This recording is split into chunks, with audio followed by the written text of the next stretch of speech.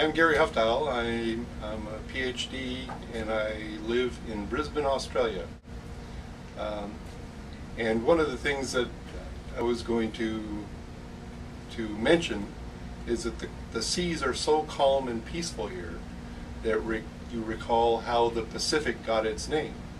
Uh, and it got its name, uh, well, it got its first name from Balboa, who had crossed Panama and named it the South Sea. Well, that's not a very good name because there's a lot of North Pacific.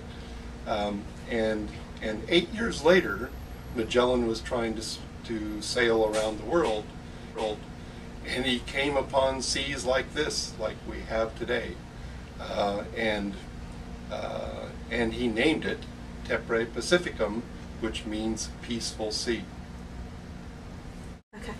Okay. Well, peaceful is not always the case in the Pacific, uh, even though the name has stood the test of time. Um, the last time I sailed uh, just offshore Japan, uh, we had three cyclones you know, within a period of about two months. Uh, that, that cyclone's a hurricane to you Yanks.